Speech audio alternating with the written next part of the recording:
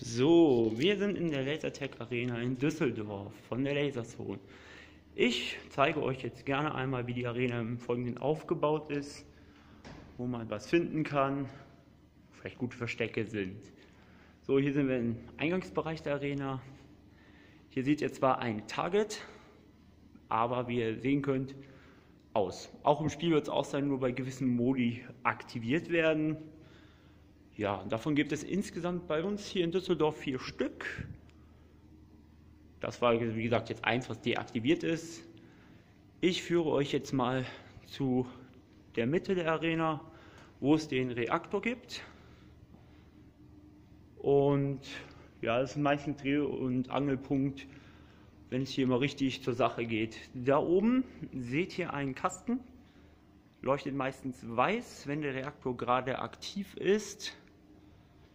Daneben finden wir einen kleinen Spot hier oben.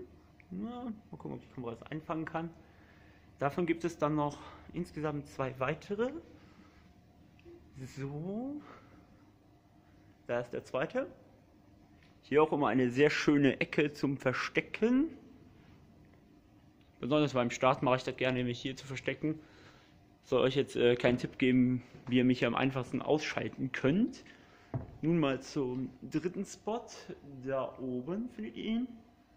Und einen, wo ich immer früher gedacht habe, der wäre einzeln, aber der gehört wohl auch noch zum Reaktor, hat man wohl dazu getan. Der befindet sich hier oben. So, von der Mitte gehen wir wieder auf den langen Gang. Ja, äh, Laufduelle gibt es hier häufigst.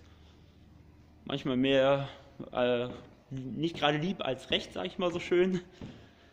Hier unten ist eigentlich auch immer was los in der unteren Ebene. Auch hier wieder ein Target, was dementsprechend, äh, man kann es kaum erkennen, glaube ich. Ja, Überbelichtung lässt grüßen. Ich versuche es mal von der Seite. Äh, jetzt kann man es erkennen, da wo die rote Lampe gerade ist, da ist ein Target. Ähm, auch wieder nur zu gewissen Spielmodi aktiv. So, gleich kommen wir zu einem der Targets, die im regulären Spielbetrieb immer aktiv, immer aktiv ist, sind. Deutschsprache ist nicht gerade meine Kunst, muss ich fairerweise gestehen.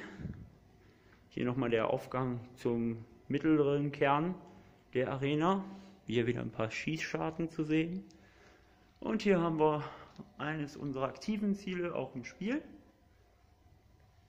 ja, Targets helfen euch, äh, Punkte zu bekommen.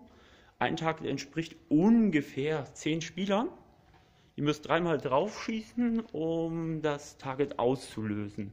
Solltet ihr abgeschossen werden, während ihr gerade dabei seid, müsst ihr natürlich von vorne anfangen. Ist natürlich immer sehr ärgerlich, aber manchmal unvermeidbar. Deswegen immer aus einer Deckung schießen, ist hier so ein kleiner Tipp. Deckung, das ist immer so Dreh- und Angelpunkt der ganzen Sache. Sucht euch Deckung, bleibt aber nicht zu lange stehen, weil wer stehen bleibt, wird nicht viele Punkte machen und im Spiel gnadenlos untergehen. So, nun kommen wir zu einem ja, Spot, der persönlicher Meinung von mir immer sehr stark besucht ist, weil viele denken, ah, hier muss ja irgendwas Wichtiges sein. Ja, das ist das sogenannte Beacon. Hier erhaltet ihr Boni in Form von doppelte Punktzahl, Schnellschuss, ähm, dann noch Unverwundbarkeit. Ihr könnt den Reaktor auslösen. Ähm, das Auslösen gibt auch wieder 1000 Punkte. Ähm, ja, was haben wir noch? Unverwundbarkeit hatten wir schon. Ja, einmalig 50 Punkte, ist jetzt nicht gerade der Bringer.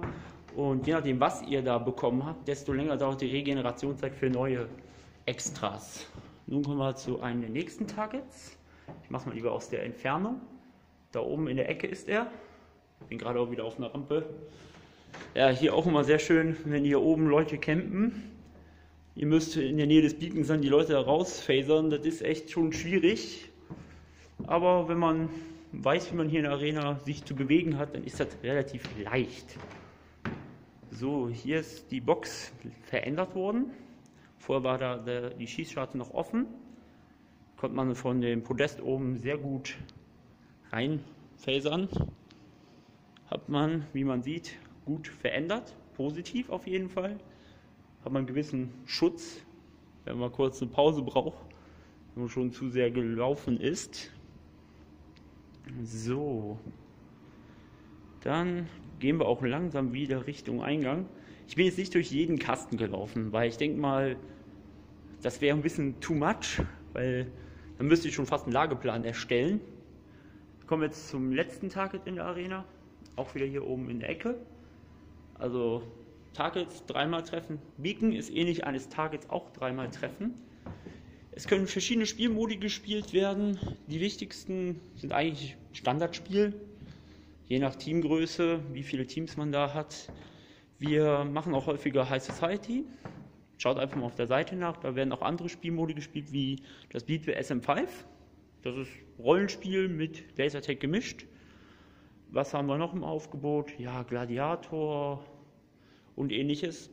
Das werde ich euch vielleicht mal in einem der nächsten Videos erklären, welcher Spielmodi was bietet. Und wenn ihr häufiger mal hier sein wollt in der Laserzone, meldet euch an. Ähm, sprecht uns in Facebook an, da ist immer rege Beteiligung. Bis denn, euer Cup.